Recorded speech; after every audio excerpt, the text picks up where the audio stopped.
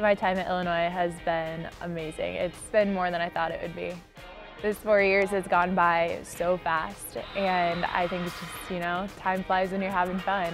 From the second week in the program, she was uh, put into the starting lineup and she has not been taken out since and uh, grown now to a six rotation player as a senior.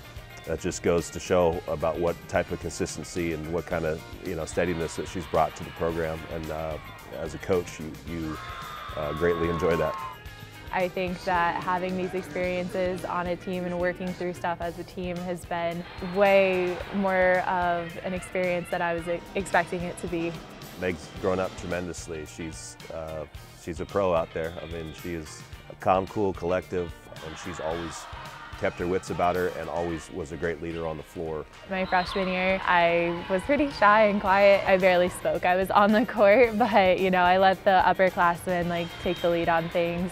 As I have grown, became more comfortable on the court, more comfortable around my teammates, and I've really just been able to help step into that leadership position and working together with all of the pieces to our puzzle it helped me develop my leadership skills and just kind of taught me how to work through adversity and kind of guide the younger classmen along the way. Using the program to learn about life, how to handle adversity, to embrace the, the joys that we have, to celebrate it with each other been so fun just getting to compete with a lot of different teammates and coaches and just really work for something that's bigger than ourselves.